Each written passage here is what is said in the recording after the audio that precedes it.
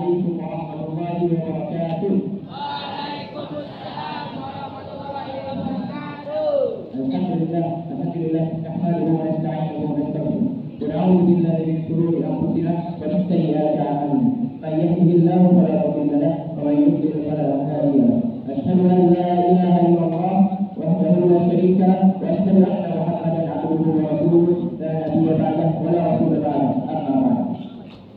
First of all, let's to Allah subhanahu wa ta'ala that has given us so many mercies and blessings until we can gather in this beautiful mosque without any troubles and obstacles whatsoever.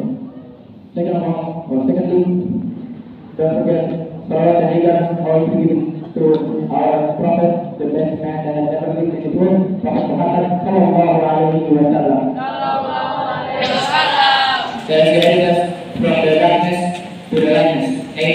the Islamic era.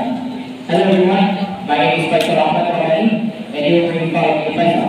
I am from 8 class and today I would like to deliver you guys a speech about speaking or making conversation during the khutbah or the speech of Jummah prayer.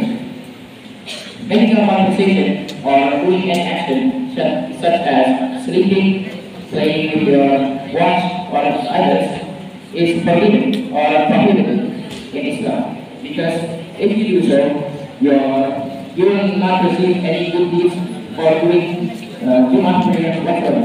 As said in one of the hadith from Rasulullah sallallahu alaihi wasallam, Rasulullah once said, إذا قلت لصاحبك يوم الجمعة أمسك والإيمان يقتل فقد ألوت.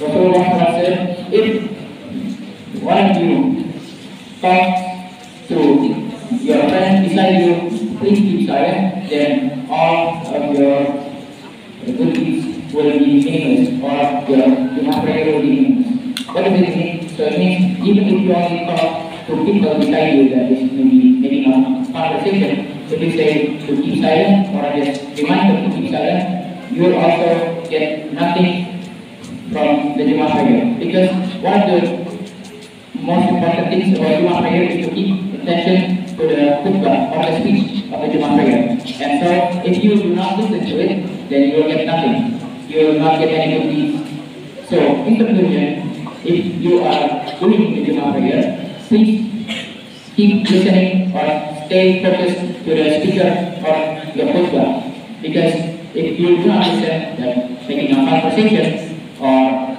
playing with your watch or sleeping, then you will any cookies.